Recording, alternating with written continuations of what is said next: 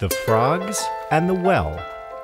A long, long time ago, two brother frogs lived in a marsh. They had enough water to drink and they played around merrily. But one summer it got so harsh that the marsh dried up. The two frogs had no water to drink, so they left in search of another place to live. They looked for water everywhere and they traveled for days and days.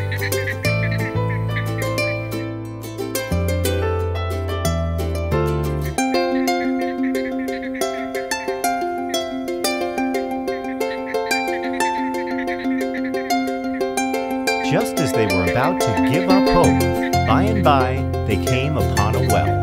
The younger, foolish brother hopped on the well to get a better look. The bottom of the well was pitch black and he couldn't see anything. This looks like a nice place, said the little frog. Let's jump in and settle here. The older brother, with a wiser head on his shoulders, replied, Not so fast, my brother. Supposing this well dried up like the marsh, how would we get out?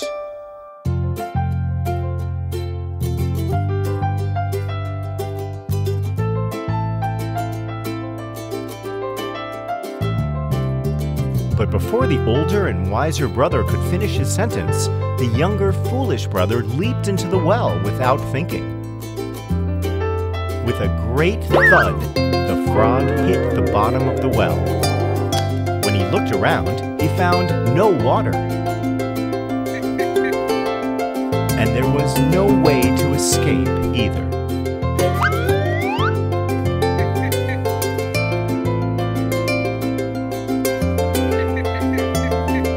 Then the younger, foolish brother thought, I should have listened to my brother and looked before I leaped. Now I'm stuck here with no means to escape.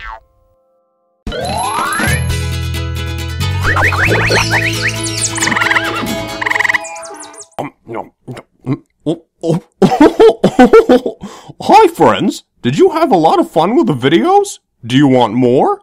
Subscribe to our channel to have more fun with me. Click here to continue watching more such beautiful sing-song rhymes.